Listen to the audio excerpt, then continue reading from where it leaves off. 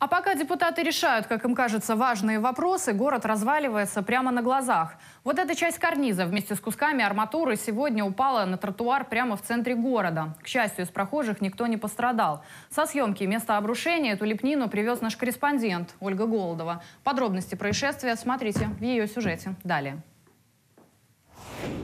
Около 10 часов утра на улице Ришиевская обрушилась лепнина. Куски штукатурки упали прямо на пешеходную зону. К счастью, никто из людей не пострадал.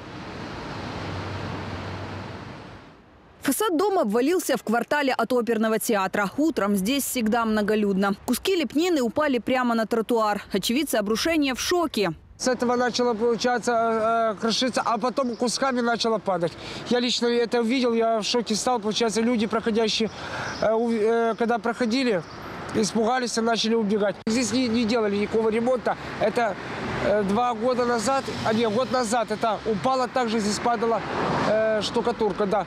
Еще какое-то время под опасным карнизом продолжали ходить люди. Я думаю, что это очень плохо это самое. Вот. Ну вы видите, что делать? Сейчас человек, он обсыпается. И никто не огра- не ограждает. Ребята, оградите, пожалуйста, и стань тут, стойте, и не знаю, что-то что-нибудь делать. Не дай бог кого-то убьет.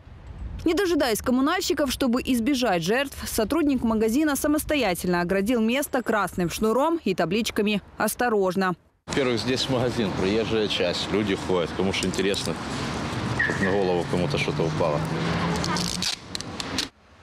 В историческом центре Одессы опасных зданий десятки. В нескольких метрах от произошедшего на Греческой 30 стоит еще один аварийный дом. Лепной карниз балкона и штукатурка могут упасть в любой момент. К слову, это трехэтажное здание является памятником архитектуры. Строению 127 лет, и от своего почтенного возраста оно может развалиться в любой момент. Ольга Голодова, Евгений Руденко, Седьмой канал.